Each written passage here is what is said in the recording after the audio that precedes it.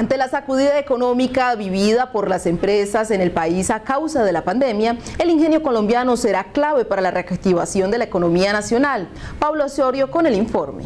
Pensamos la verdad que sí se iba a acabar esto. El fin de su fábrica era lo que veía venir Anderson Gaitán, un empresario afectado por los estragos económicos causados por el coronavirus. Fue duro, la verdad, sí.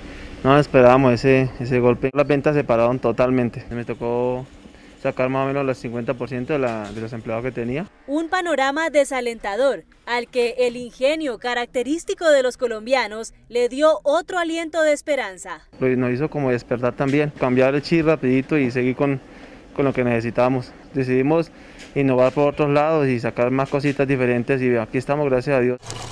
Reinvención empresarial que es exaltada por el gobierno nacional desde el Departamento Nacional de Planeación. Han tenido que implementar eh, temas de innovación en sus empresas, cambios de sus procesos productivos, cambios de mentalidad.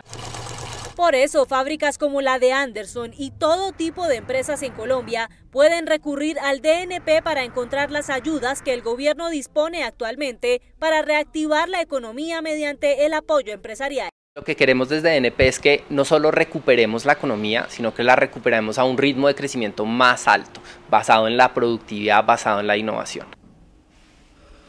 Y es que se encendieron las alarmas ante una posible recesión económica luego de lo informado por el DANE de que la economía se contrajo un 9% más en otro periodo consecutivo, por lo que apostarle a la innovación y a los beneficios del gobierno es la herramienta clave para reactivar la economía y para no desfallecer en ese renacer nuevo del país. Desde Bogotá les informó Paula Osorio.